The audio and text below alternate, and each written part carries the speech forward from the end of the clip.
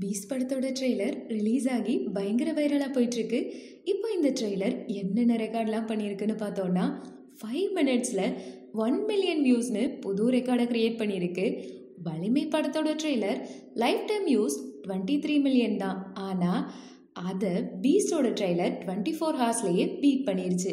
Piece trailer twenty four ஹார்ஸில் thirty million views point two million லைக்ஸ்னு அந்த லெவலுக்கு hit அடிச்சிருக்கு. இந்த மாதிரி சினி நியூஸ் எல்லாத்தையும் தெரிஞ்சுக்க நம்மளோட தமிழர் டாக்ஸை லைக் பண்ணுங்க ஷேர் பண்ணுங்க சப்ஸ்கிரைப் பண்ணுங்க.